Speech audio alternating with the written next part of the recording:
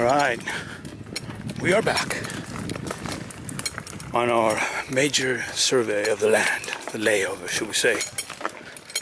I've been in the creek bed, and now I'm on this, uh, not the smoothest of trails, but I think I can manage one-handed. Dog lovers, dog lovers, don't love the dogs enough. On the right.